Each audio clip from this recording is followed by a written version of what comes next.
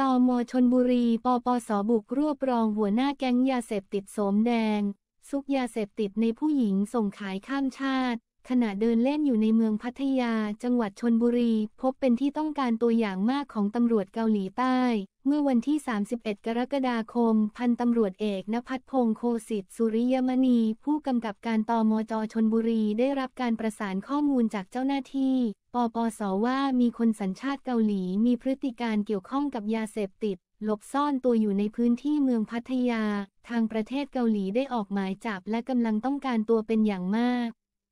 จึงได้สั่งการให้พันตำรวจโทวีรชัยกลิ่นกมุตสว.ตม.จ.ชลบุรี พร้อมด้วยและเจ้าหน้าที่ตำรวจชุดสืบสวนตรวจสอบข้อมูลจนทราบว่าคือนายซอยจินแทอายุ 40 ปีสัญชาติเกาหลี และเมื่อตรวจสอบข้อมูลในระบบตม.พบว่าวีซ่า overstay จึงได้วางแผนจับกลุ่ม ต่อมาได้จับกลุ่มผู้ต้องหาขณะเดินอยู่บริเวณถนนพัทยาสายสามอำเภอบางละมุง จังหวัดชนบุรี พร้อมควบคุมตัวมาสอบสวนพันตำรวจโทวีรชัย เปิดเผยว่าขบวนการดังกล่าวลักลอบนำยาเสพติดจากประเทศไทยไปประเทศเกาหลี โดยใช้วิธีการให้ผู้หญิงซุกซ่อนยาเสพติดไว้ตามร่างกาย และทั้งหมดถูกจับที่สนามบินและมีการซัดทอดว่า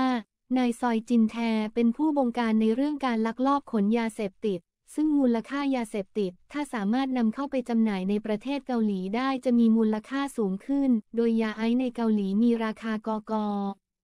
ละประมาณ 13 ล้านบาท ส่วนเคตามีนกกละ 5.2 ล้านบาท ขณะที่ผู้ต้องหาให้การว่าตนเป็นรองหัวหน้าแก๊งยาเสพติดของเกาหลีใต้ ทำหน้าที่จัดหายาเสพติดในประเทศไทยส่งกลับไปยังประเทศเกาหลี เบื้องต้นดำเนินคดีในข้อหา อยู่ในราขออาณาจักรไทยเกินกำหนด โอเวอร์สเตย์